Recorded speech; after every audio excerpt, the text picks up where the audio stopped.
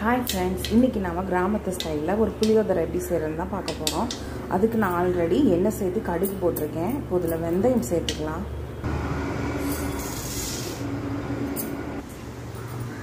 இப்போது இருபது போல் பூண்டு சேர்த்துக்கலாம். இந்த பூண்டு நல்லா ரோஸ்ட் ஆகி வரும்போது ஃப்ளேவர் ரொம்ப நல்லாவே கொடுக்கும்.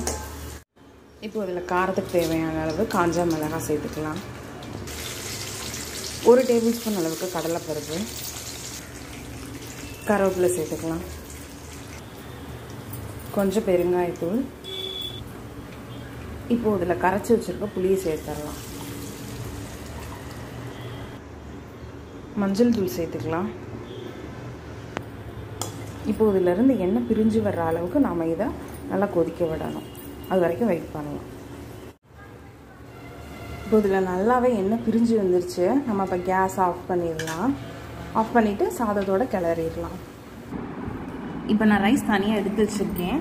இப்போது இதில் எண்ணெயில் வறுத்த வேர்க்கடலையே சேர்த்துக்கலாம்.